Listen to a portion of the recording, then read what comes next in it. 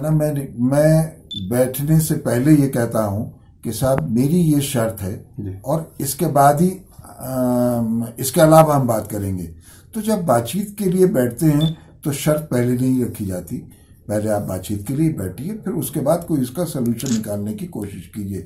لیکن اگر آپ پہلے شرط لگا دیں گے تو وہ بات چیت کبھی کامیاب نہیں ہو سکتی۔ جیسا کہ پچھلے دنوں ہوتا رہا کہ صاحب شرطیں رکھی گئیں اور پھر اس کے بعد کہا گیا کہ صاحب بیٹھ جائیے۔ تو ہمیں اندازہ تھا کہ اس کا کوئی حل نہیں نکلے گا۔ ہمیں کھلے دل کے ساتھ بات چیت کے لیے بیٹھنا چاہیے، بلکہ سیاست دانوں کو اس سے الگ ہو جانا چاہیے۔ اور ان مذہبی لوگوں کو بیٹھنا چاہیے جن کا سیاست سے کوئی تعلق نہیں ہے۔ کیونکہ مذہبی حل تو مذہبی لوگ ہی نکالیں گے۔ تو اگر سیاستدان بھی بیٹھنا چاہتے ہیں، تو پہلے سے کوئی شرط لگائے بنا بیٹھیں، کھلے دل کے ساتھ بیٹھیں اچھے ماحول میں بیٹھیں، تو شاید کوئی نتیجہ نکل آئے۔